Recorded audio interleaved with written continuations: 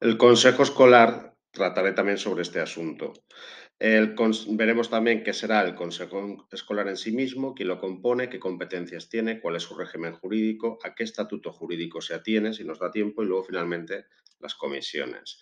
El consejo escolar es un órgano colegiado de gobierno donde participan todos los sectores de la comunidad educativa. Su régimen jurídico está regulado también por el reglamento de organización y funcionamiento de los centros y realmente se renueva mediante un proceso electoral. ¿Quién lo compone? En este caso, como pertenezco al Instituto de Educación Secundaria de Requena, lo he personalizado o especificado también en nuestro consejo escolar. La dirección o lo que sería el presidente lo ejerce el director del centro. El secretario del consejo es en este caso nuestra secretaria del centro que tendrá voz pero no voto. A su vez también participan también las jefas de estudio de, la ESO, de secundaria y bachillerato, y la jefa de estudios de ciclos, que como veremos más adelante realmente tiene voz pero no voto. El representante del ayuntamiento es el concejal, en este caso el teniente de alcalde del actual equipo de gobierno. El los representantes de madres y padres son cinco representantes, de los cuales uno de ellos debe pertenecer al AMPA, el alumnado está representado por cuatro personas, una de ellas puede ser de una asociación, que en este caso no ha lugar. El profesorado tiene siete representantes elegidos libremente y el personal de auxiliar de administración y servicios tiene un solo representante. Aquí cabe también decir, cabe destacar que el, que el alumnado eh, puede participar a partir del primer curso, pero en los dos primeros no puede tampoco tomar parte de lo que sería la elección del director. Y la jefatura de estudios eh, de formación profesional, como he dicho antes, tiene voz pero no voto. Los centros también que impartan formación profesional pueden incluir también representantes de organizaciones empresariales que tendrán voz pero no voto. A su vez también, los que tengan también unidades específicas de educación especial, incorporarán también a su, a su consejo escolar un representante no docente de la, especializado en apoyo. ¿Quién lo compone? Pues realmente, eh, como veremos, puede participar pues, realmente eh, cualquier organismo de manera consultiva si realmente está relacionado con el tema que se va a tratar. ¿Qué competencias tiene? Pues tiene como competencia principal proponer directrices para la elaboración del proyecto educativo de centro, de gestión, de organización y funcionamiento de lo que sería el propio centro a través de las normas y luego la programación general anual. Además también de los distintos programas propios también que tenga el propio centro. Y a su vez también debe conocerlos debe también evaluarlos y proponer y hacer propuestas de mejora.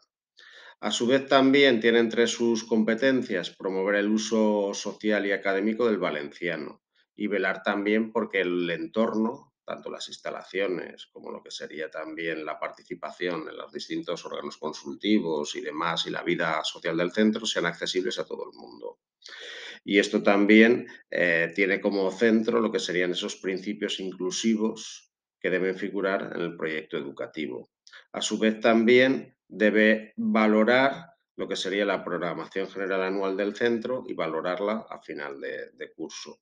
Y aprobar también lo que serían los presupuestos, ese proyecto de presupuesto, eh, supervisar su ejecución y aprobar también la cuenta anual cuando realmente se rinda cuentas en el Consejo Escolar Económico de enero.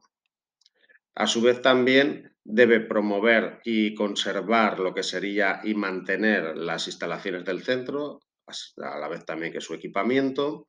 Debe también valorar las candidaturas a la dirección de los centros y participar también en la selección de la persona que ejercerá la dirección del centro, a su vez también como su proceso de cese proponer si se procede la revocación del, titular, del director, que debe contar también, primero tiene que estar perfectamente motivado y debe contar con dos tercios del total de los miembros con derecho a voto, y a su vez también proponer las medidas que favorezcan también la igualdad y convivencia en los centros, así como su respeto a la diversidad.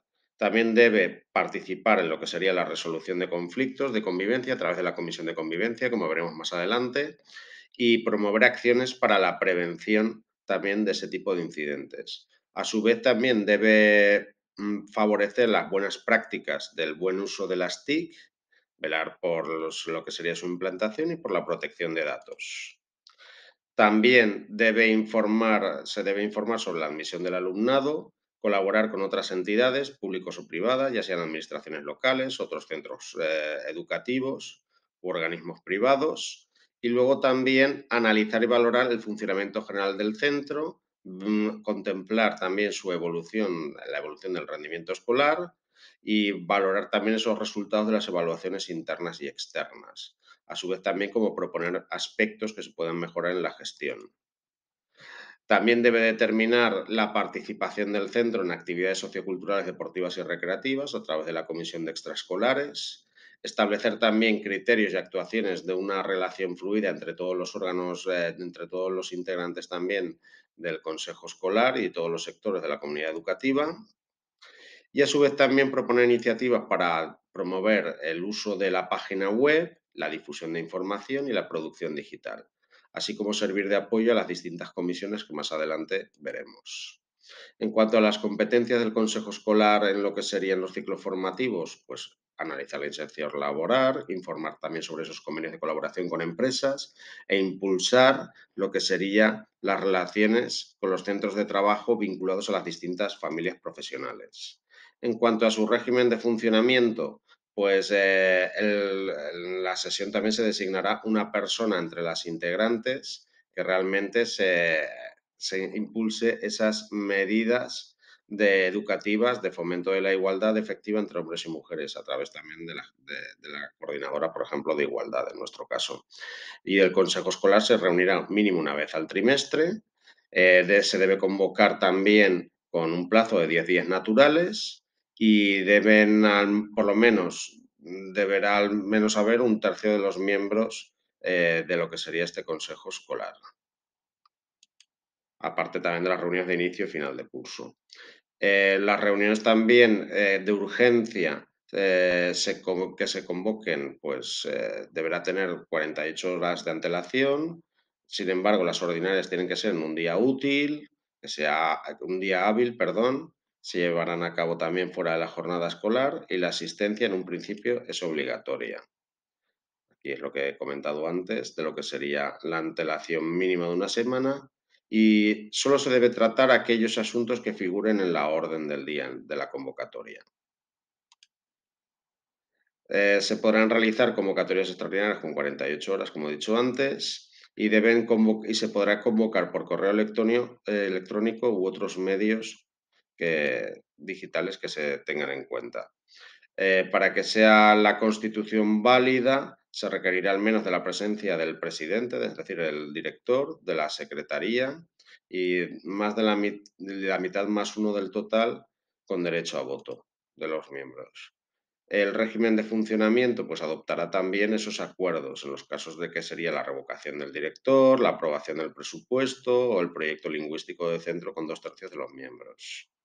Eh, de todo esto se levantará acta, la secretaria, la secretaria en este caso levantará acta, habrá un libro de actas que podrá ser electrónico y se podrá también grabar estas sesiones del consejo escolar, pero no compartirlas, para que se pueda transcribir también su contenido. El extracto también de los acuerdos adoptados se podrá publicar en la página web y en el tablón de anuncios y se pondrá a disposición también del claustro.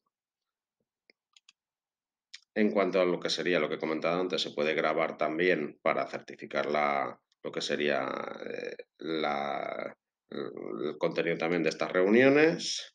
Se levantará acta que debe aprobarse también en cada reunión.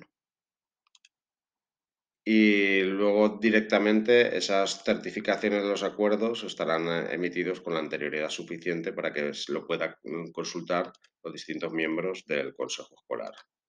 El régimen jurídico es realmente que las personas electas no estarán sujetos a ese mandato imperativo. Eh, las decisiones que se tomen se informará también a todos los eh, sectores de las personas representadas y se atendrá también a ese estatuto eh, de los representantes.